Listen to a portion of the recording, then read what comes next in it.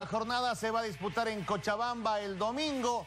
Die Strongest va a visitar a Birsterman, el equipo atigrado intentando lavar su imagen luego de la eliminación con goleada incluida en la Copa Libertadores de América.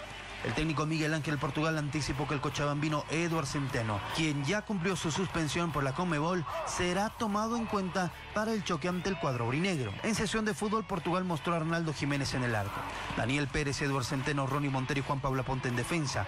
Jorge Ortiz, Moisés Villarruel, Carlos Antonio Melgar y Sergino en el medio campo. El Pochi como enganche, dejando como único delantero a Lucas Gaullo. Sabemos que viene herido, evidentemente, eh, que eh, un equipo herido es peligroso y más si es Strongest. Varias dudas tiene el entrenador para formar al onceno que enfrente a Wisterman el domingo en Cochabamba. Lesionados Martelli y Machado, en defensa podrían aparecer Valverde y Checa. El sub-20 ratificado Ramiro Vaca. Y bueno, va a ser un lindo partido, lindo para jugar. Creo que nos va, nos va a servir a los dos equipos, ¿no? Como digo, eh, el ganar nos va a dar un impulso anímico que nos va a servir bastante y bueno, vamos a ir en busca de eso, ¿no? Creo que tenemos nuestras armas y vamos a ir a pelear.